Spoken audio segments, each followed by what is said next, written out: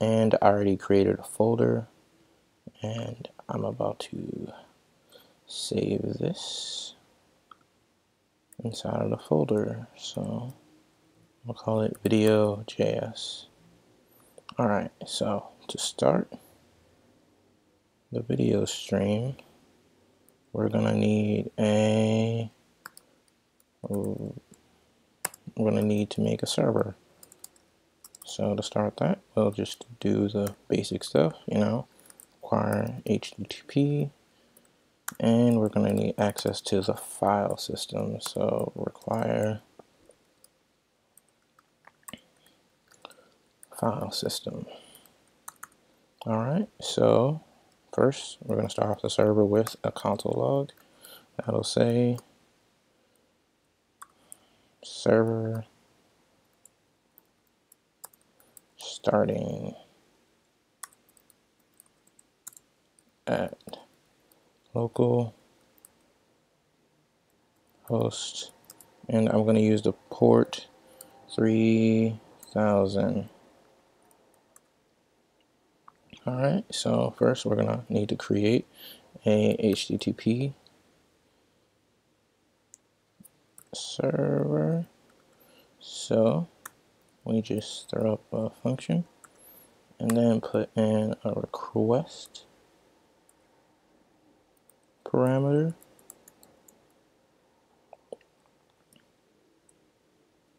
and a response parameter. Alright, and we need to write to the browser the response that it's going to get, which will be right head. And the status code will be 200 and then content type inside of a JSON string would be content dash type would be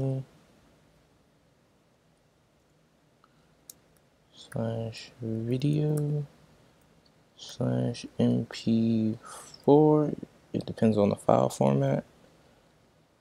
I only tried it with mp4 so we're gonna do var and we're gonna create a variable for a read stream so var rs equal to file system dot create read stream and then the read stream is going to grab the file. So I need a video. So let's grab a video.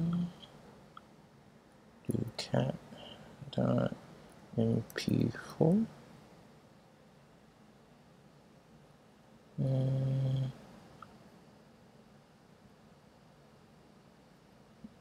just download the file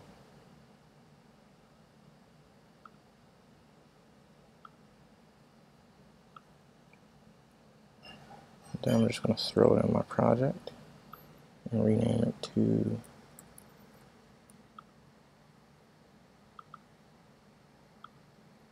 rename it to cat. So then we're going to call it cat.mp4. And then from there, we're going to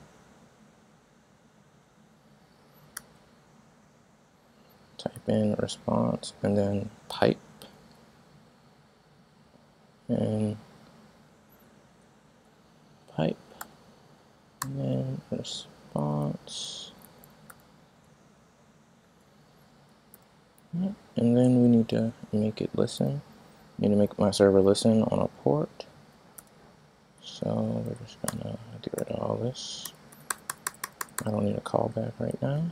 And then port 3 thousand then I can just start my server from right here. And then we're gonna go to localhost.